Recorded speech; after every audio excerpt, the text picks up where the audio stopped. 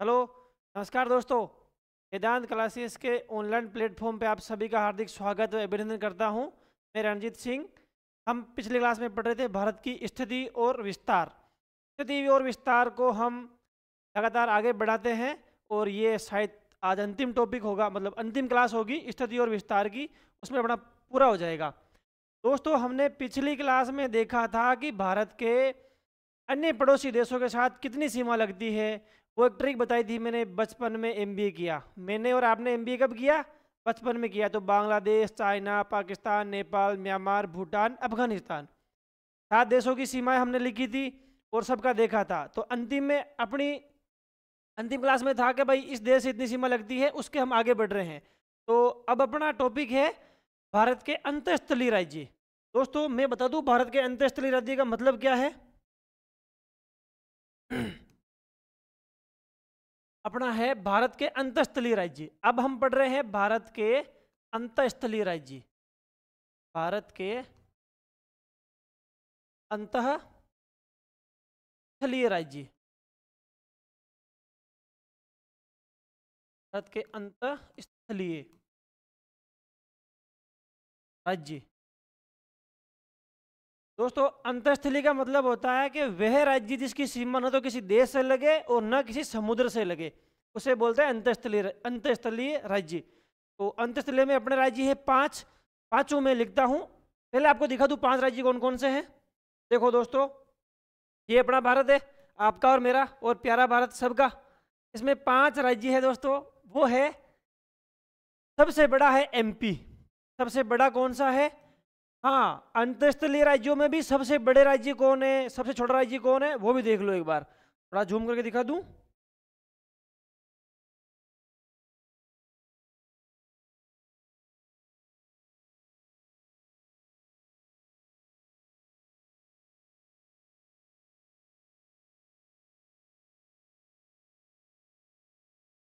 देखो, ये अपना भारत, ये अपना है खतरनाक भारत। इसका नाम क्या है?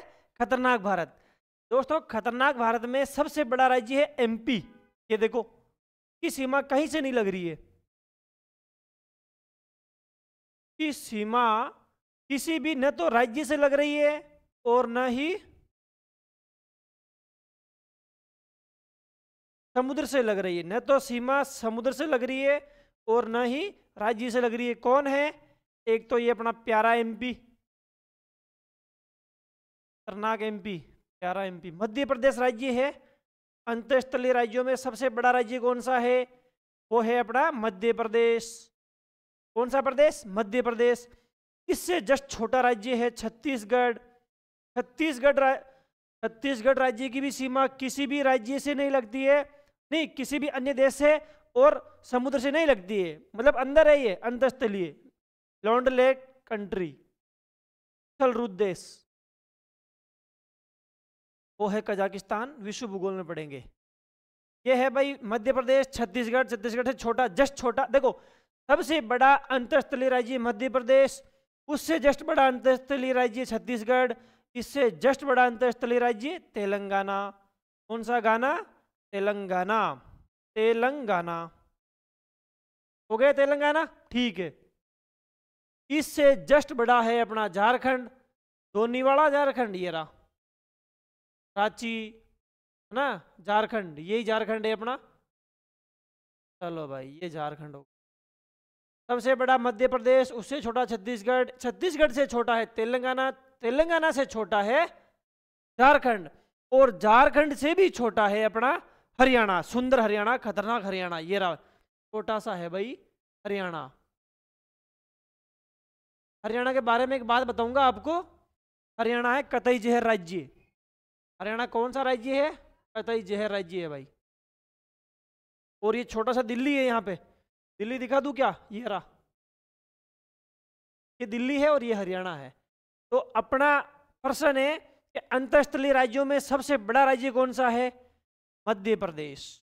एमपी एक नंबर पे, इससे छोटा है छत्तीसगढ़, दो नंबर पे, इससे छोटा है तेलंगाना टी एन बोल दूँ, तेलंगाना, तीन नंबर पे, इससे छोटा झारखंड। झारखंड कितने हैं? चार नंबर पे, और सबसे छोटा है एच आर हरियाणा, पाँच नंबर पे। दोस्तों, आपके पल्ले पड़ गया मैंने प्रैक्टिकली तौर पे, मैंने प्रैक्टिकली तौर पे आपको सिखा दिया है कि सबसे बड़ा राज्य अंतरस्थलीय में कौन है? मध्य प्रदेश, इससे छोटा छत्तीसगढ़, इससे छोटा तेलंगाना तेलंगाना से छोटा झारखंड झारखंड से छोटा हरियाणा। और इधर दिल्ली आप जानते ही हो, छोटा सा। ठीक है। तो हम इसको अपनी भाषा में लिख देते हैं। भारत के अंतस्थलीय राज्य, है ना? क्या है भाई? भारत के अंतस्थलीय राज्य। भारत के अंतस्थलीय राज्य, इनका भी क्रम है क्षेत्रफल के दृष्टिकोण से। क्षेत्रफल के दृष्टिकोण से। सबसे पहले तो हम लिखेंगे सबसे पहले हम लिखेंगे अंतस्थली किसे कहते हैं। क्या लिखे अंतस्थलीय। अंतस्थलीय राज्य की परिभाषा क्या है? की परिभाषा है कि वह राज्य जिसकी सीमा न तो किसी राष्ट्र से और न ही समुद्र से लगती है, अंतस्थलीय राज्य कहलाते हैं। वह राज्य वह राज्य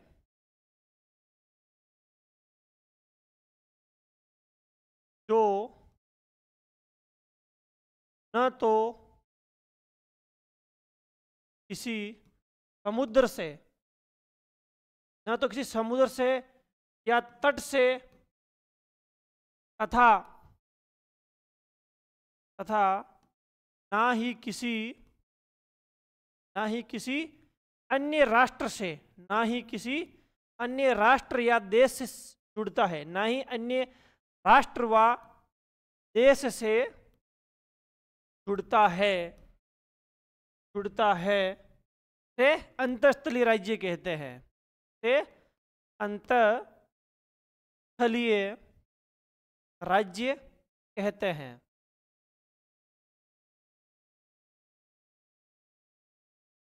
अंतस्थलीय राज्य किसे कहते हैं? वह राज्य वह राज्य जो न तो किसी समुद्र से या तट से तथा न ही किसी, तथा न ही किसी अन्य राष्ट्र या देश से जुड़ता है अंतस्थलीय राज्य कहलाते हैं।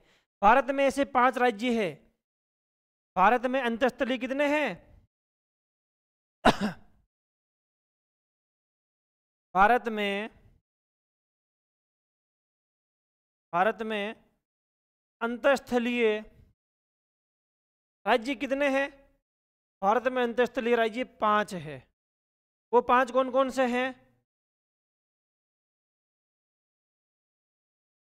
वो सबसे बड़ा है अंतस्थलीय राज्य मध्य प्रदेश। कौन सा प्रदेश? मध्य प्रदेश। मध्य प्रदेश से जस्ट छोटा है छत्तीसगढ़। मध्य प्रदेश से जस्ट छोटा है छत्तीसगढ़।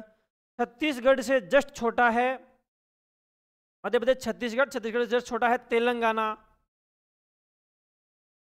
तेलंगाना, ठीक है? तेलंगाना से जस्ट छोटा है झारखंड। झारखंड, और झारखंड से जस्ट छोटा है अपना प्यारा हरियाणा, कतई जहर, हरियाणा। हरियाणा। बताओ अंतस्थलीय राज्यों में सबसे छोटा राज्य कौन सा है? हरियाणा। अंतस्थलीय राज्यों में सबसे बड़ा राज्य कौन सा है? मध्य प्रदेश। अपनी बात क्लियर है? ठीक है। आगे बढ़ते हैं। अंतस्थली हो गए अपने। इसके बाद दोस्तों हम देखते हैं। कोस्ट लाइन क्या देखते हैं? कोस्ट लाइन या तटीय सीमा या समुद्री सीमा। क्या देखेंगे? कोस्ट लाइन तटीय सीमा या समुद्री सीमा। लिखो भारत की भारत की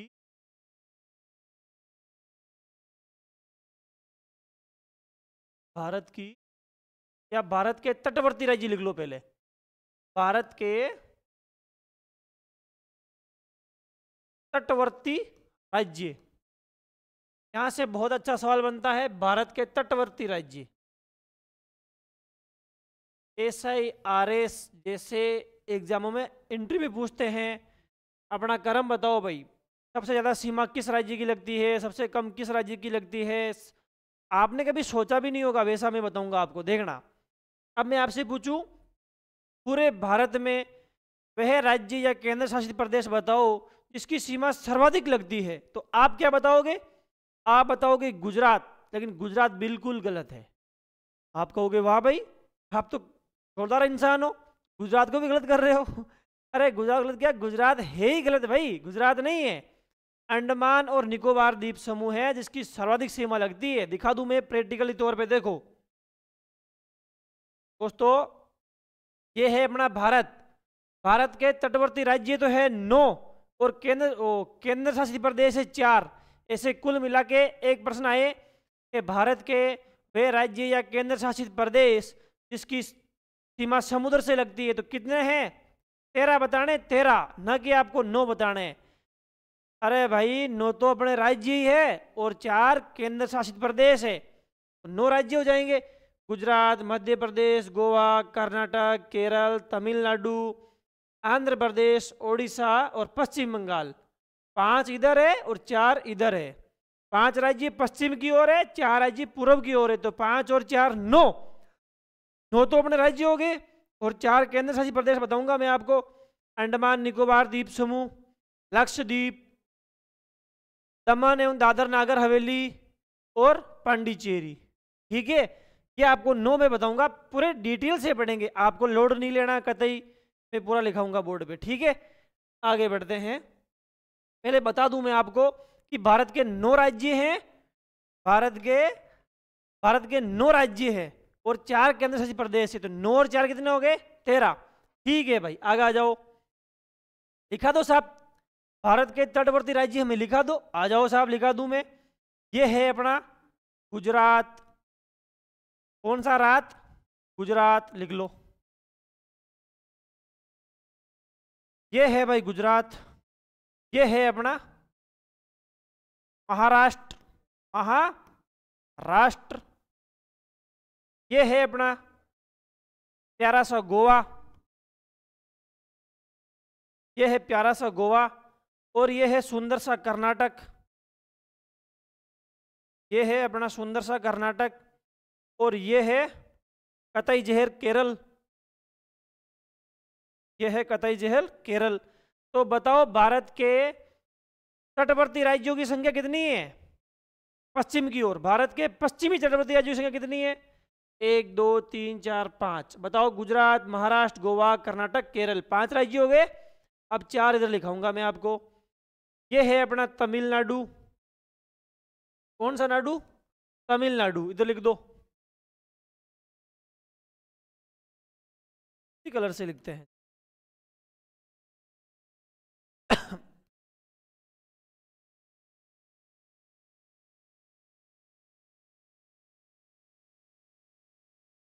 ये है तमिलनाडु, ये है अपना आंध्र प्रदेश, कौन सा प्रदेश?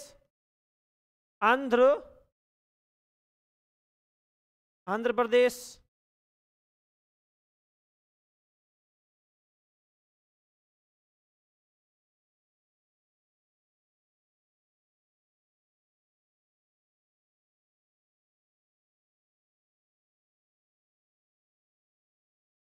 तमिलनाडु, या आंध्र प्रदेश।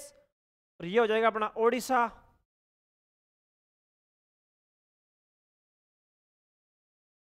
ये ओडिशा और ये हो गया अपना पश्चिम बंगाल।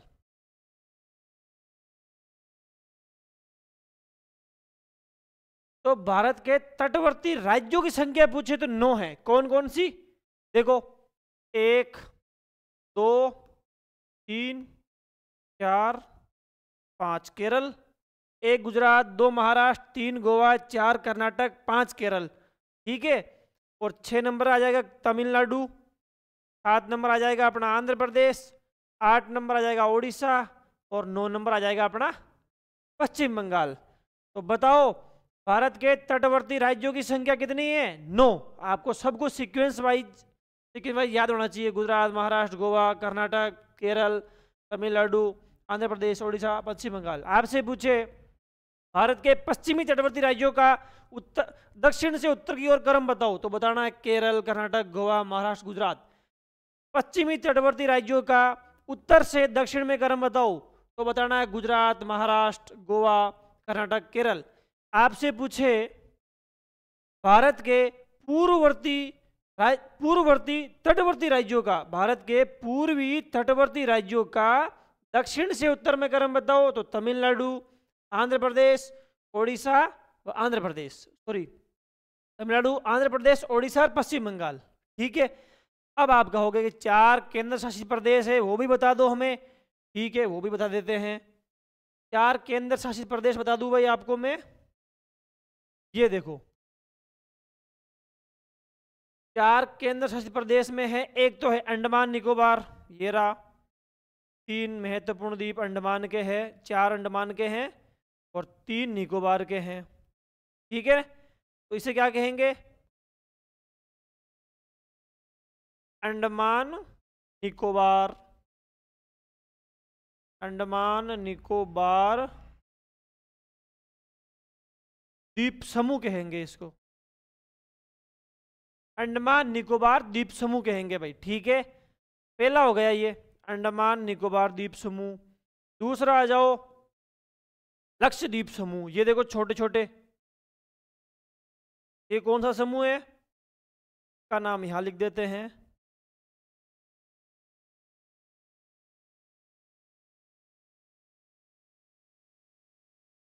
लक्षद्वीप समूह। का नाम है लक्षद्वीप समूह। एक हो गया, दो नंबर ये हो गया, लक्षद्वीप समूह हो गया। तीसरा बताओ, तीसरा पांडिचेरी। पांडिचेरी या पुदुचेरी, इसके चार चार ज़िले हैं भाई। वो चार ज़िले बता दू मैं कहाँ कहाँ है? एक तो है माहे, का नाम विशेष लिखना पड़ेगा। यहाँ लिख दू, चलो मैं। माहे हैं। चार ज़िले हैं, वो चार जगह हैं, मैं बता देता हूँ आपको। इससे लिख देता हूँ।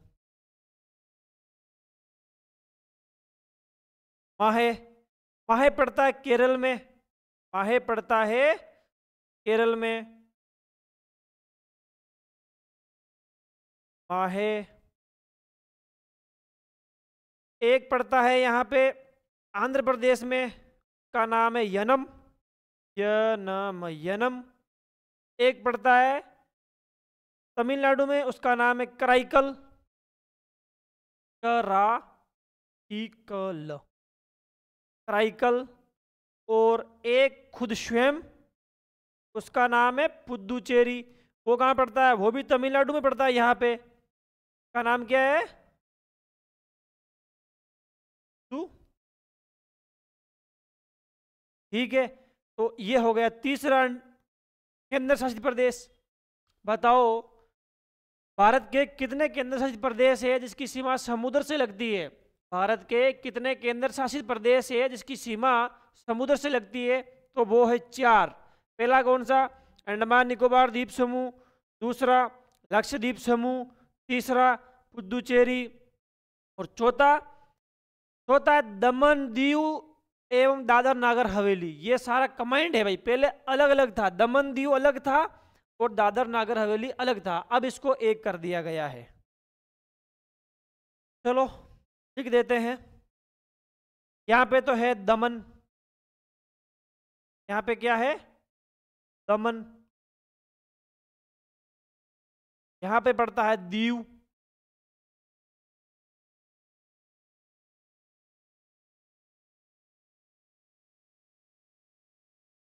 ये है दीव, ये दीव और ये है दमन। और यहाँ पे महाराष्ट्र और गुजरात की सीमा पे पड़ता है दादर नागर हवेली। इसका नाम क्या है? दादर नागर हवेली। दादर नागर हवेली। इसको नाम कौन सा देंगे हम? चार नंबर देंगे। बताओ, भारत के कितने केंद्र शासित प्रदेश व राज्य है जिसकी सीमा समुद्र से लगती है? आपको बताना है तेरह। क्या बताना है? तेरह। तेरह में नौ तो राज्य हैं और चार केंद्र शासित प्रदेश है। चार केंद्र शासित प्रदेशों में अंडमान, निकोबार द्वीप समूह पहला, दूसरा लक्षद्वीप समूह, तीसरा पुदुचेरी और चौथा दमन दीव एवं दादर नागर हवेली, ये एक ही है। पहले अलग अलग था दमन दीव एवं दादर नागर हवेली। दमन दीव एवं दादर नागर हवेली पहले अलग अलग थे, अब ये एक हो गए। ठीक है, इसको हम अब लिख देते हैं विस्तार से। देखो।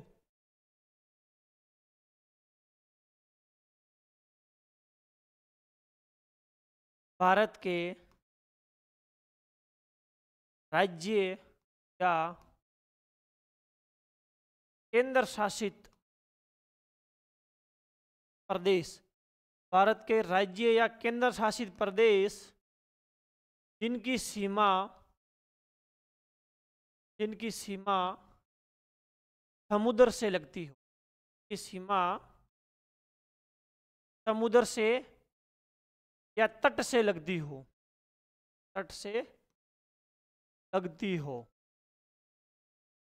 तट से लगती हो तो। आप क्या बताओगे? कितनी है उसकी संख्या?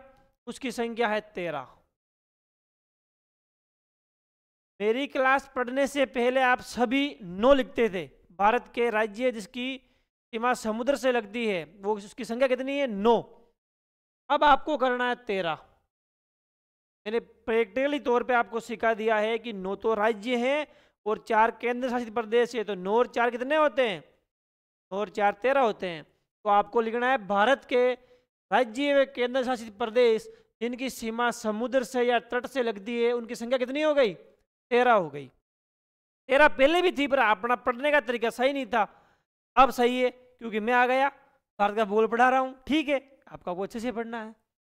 तेरह हो गए, बताओ कौन कौन से हैं? इसमें भी, इसमें आ जाओ। आ जाओ। भारत के तटवर्ती राज्यों की संख्या। भारत के तटवर्ती राज्यों की संख्या। भारत के तटवर्ती राज्यों की संख्या पूछे तो क्या बताओगे आप? केवल मैंने राज्य पूछे हैं भाई तो आपको बताना है नौ। अब मैं पूछूँगा आपसे, भारत के भारत के तटवर्ती केंद्र शासित प्रदेश, भारत के तटवर्ती केंद्र शासित प्रदेश। इनकी संख्या कितनी है? केंद्र शासित प्रदेश की संख्या बताओ कितनी है? आपको बतानी है चार। ठीक है? अब आपसे पूछे, संख्या में राज्य का नाम बताओ तो संख्या के राज्य के नाम आ जाएँगे। नौ राज्य है ना भाई? नौ राज्य है और चार केंद्र शासित प्रदेश है। चार केंद्र शासित चार केंद्र शासित प्रदेश है। ठीक है तो नौ नौ राज्य यहाँ लिख देते हैं और चार केंद्र शासित प्रदेश वहाँ लिख देंगे। आ जाओ। पहला राज्य कौन सा है? गुजरात। दूसरा कौन सा है? महाराष्ट्र। तीसरा कौन सा है? गोवा। चौथा कौन सा है? कर्नाटक। पांचवा कौन सा है? ठीक है लिख देंगे तो। पांचवा कौन सा है?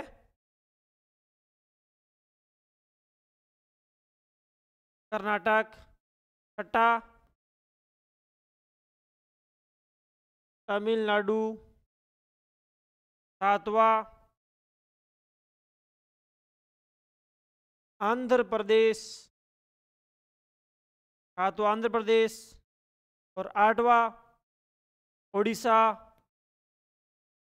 आठवा है अपना ओडिशा और नौवा और अंतिम पश्चिम बंगाल।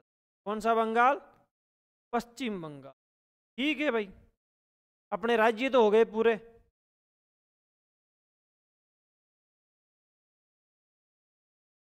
अपने राज्यों की संख्या कितनी है? गुजरात, महाराष्ट्र, गोवा, कर्नाटक कर्नाटक दोबारा गया। केरल आएगा फिर।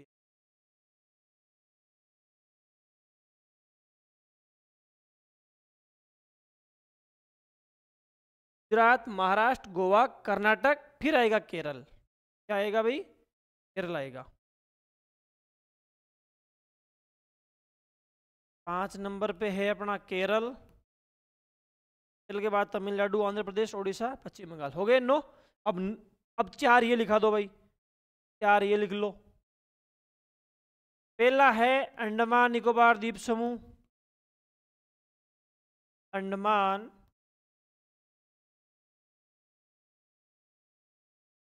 निकोबार द्वीप समूह। अंडमान निकोबार द्वीप समूह। दूसरा है लक्षद्वीप। लक्षद्वीप समूह। तीसरा है पुदुचेरी या पांडिचेरी। और चौथा व अंतिम है दमन। दमन व दीव एवं दादर नागर हवेली। दादर नागर दादर नागर हवेली। ठीक है तो ये अपने नौ राज्य हो गए। ये हो गए अपने नौ राज्य और ये हो गए चार केंद्र शासित प्रदेश। अब इसमें भी एक और है, एक दो प्रश्न और बढ़ेंगे कि सर्वाधिक सीमा किसकी है, कम सीमा किसकी है, वो क्रम लिख देते हैं इसके बाद। देखो, आपसे पूछे, सर्वाधिक सीमा किस राज्य या केंद्र शासित प्रदेश की लगती है? लिखो।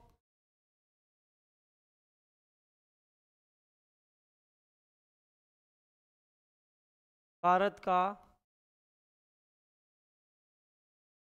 वह राज्य या यूनियन टेरिटरीज, जिसे बोलते हैं केंद्र शासित प्रदेश, भारत का वह राज्य या केंद्र शासित प्रदेश, जिसकी समुद्र से समुद्र से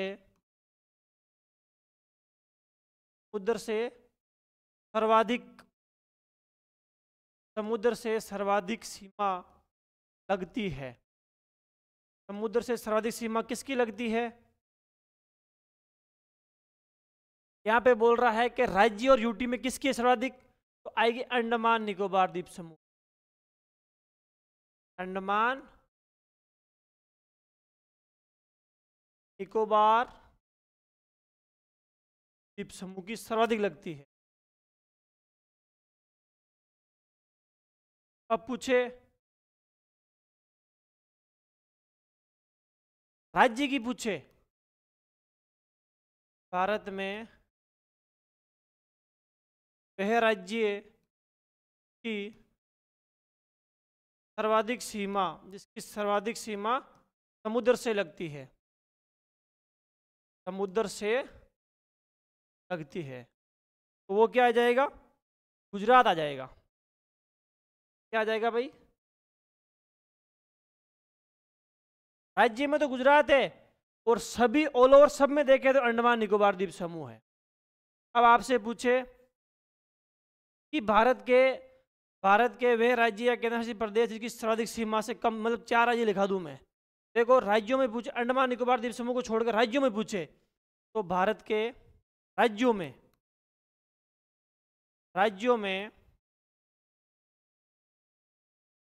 समुद्र से लगने वाली सीमा। क्षेत्रफल मतलब अधिक से कम, यहाँ कोष्टक में लिख लो, अधिक से कम। कोष्टक में आ जाएगा अधिक से कम।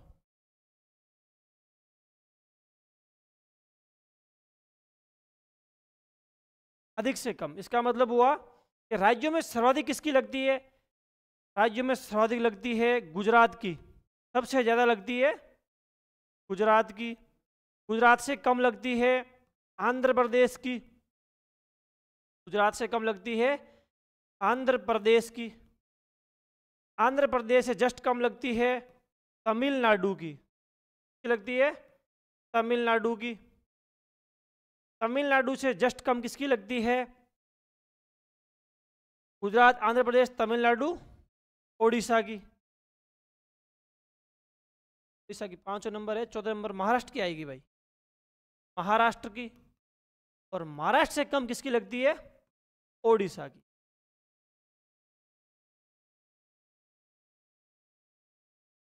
ये मैंने पाँच राज्य दिखा दिए आपको ध्यान चार ही रखने हैं।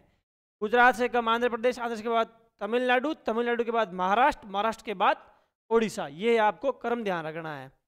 आपसे पूछे, पश्चिमी राज्य की सर्वाधिक सीमा लगती है गुजरात, पूर्वी राज्य जिसमें सर्वाधिक सीमा लगती है भारत का वह पूर्वी राज्य जिसकी समुद्र से सर्वाधिक सीमा लगती है तो वो आंध्र प्रदेश आ जाएगा। देख लो चित्र में। यहाँ पे सर्वाधिक गुजरात है और यहाँ पे सर्वाधिक आंध्र प्रदेश है। ये ध्यान रखना है। यहाँ पे दो नंबर पे कौन आ रहा है? यहाँ पे दो नंबर पे तमिलनाडु आ रहा है। यहाँ पे दो नंबर पे तमिलनाडु आ रहा है और यहाँ पे दो नंबर पे कौन आ रहा है?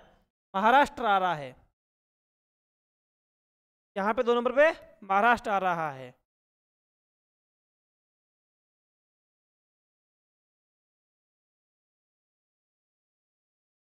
पश्चिम में और ये है पूर्वी राज्य। ये है पश्चिमी राज्य। आपसे पूछे पश्चिमी राज्य जिसकी सीमा दूसरे नंबर पर किसकी है? महाराष्ट्र की। और दूसरे नंबर इधर किसकी है?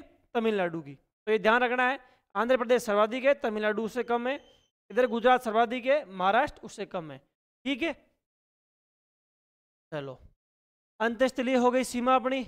अंतस्थलीय के बाद हम देखते हैं भारत के, एक दो फेडोर लिख देते हैं। भारत के राज्य क्षेत्रफल में सबसे बड़ा, छोटा छोटा, वो लिख लेते हैं, चलो। देखो, भारत के वह राज्य जो क्षेत्रफल की दृष्टि से बड़े से छोटे क्रम लिख लेते हैं। भारत के राज्य क्षेत्रफल में बड़े से छोटा क्रम है ये। बड़े से,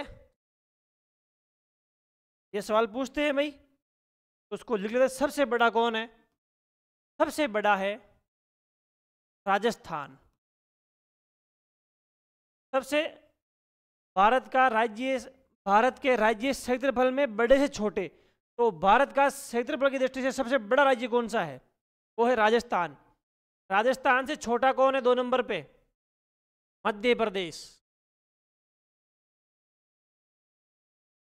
मध्य प्रदेश से छोटा कौन है? मध्य प्रदेश से छोटा है अपना वो, महाराष्ट्र। और महाराष्ट्र से छोटा कौन है? उत्तर प्रदेश। देखो, राजस्थान, मध्य प्रदेश, महाराष्ट्र, उत्तर प्रदेश। ये आपको ध्यान रखना है। आपसे पूछे, क्षेत्रफल के दृष्टिकोण से भारत के बड़े से छोटे राज्यों का क्रम बताओ। तो ये क्रम रहेगा, सबसे बड़ा राजस्थान राजस्थान से छोटा मध्य प्रदेश मध्य प्रदेश से छोटा महाराष्ट्र महाराष्ट्र से छोटा उत्तर प्रदेश। क्षेत्रफल की दृष्टि से चौथा सबसे बड़ा राज्य कौन सा है? उत्तर प्रदेश। क्षेत्रफल की दृष्टि से दूसरा सबसे बड़ा राज्य कौन सा है? मध्य प्रदेश। तीसरा है महाराष्ट्र। अब लिख लेते हैं। क्षेत्रफल के दृष्टिकोण से छोटे से बड़े राज्य। क्षेत्रफल क्षेत्रफल के क्षेत्रफल के दृष्टिकोण से,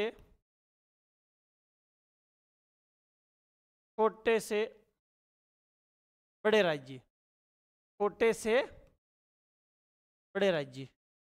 सबसे छोटा राज्य कौन सा है, ये आप सब जानते हो। सबसे छोटा राज्य है अपना गोवा। गोवा से जस्ट बड़ा, ये चिन्ह बड़े का है और ये चिन्ह छोटे का, ध्यान रखने की योग्य बात है भाई। ये गोवा से जस्ट बड़ा कौन है? सिक्किम।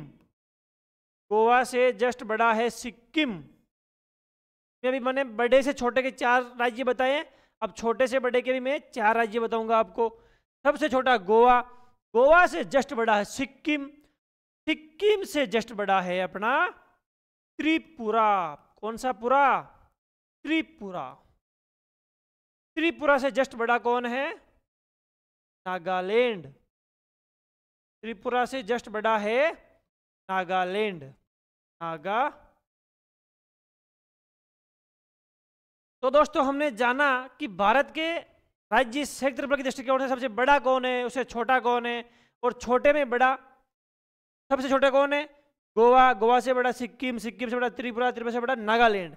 और सबसे बड़ा कौन है? बड़े में राजस्थान, मध्य प्रदेश, महाराष्ट्र, उत्तर प्रदेश।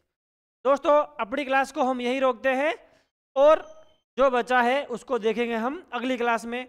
जय हिंद, जय भारत दोस्तों। थैंक यू धन्यवाद।